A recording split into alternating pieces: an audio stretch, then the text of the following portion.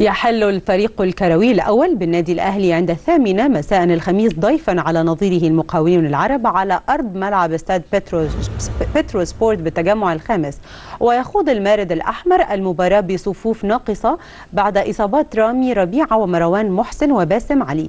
فيما توعد المدرب محمد سهيل المعين حديثا مدربا للوداد المغربي توعد بتحقيق المعجزة بالفوز على الزمالك عقب الخسارة الكبيرة التي تلقاها الفريق المغربي برباعية في القاهرة. والآن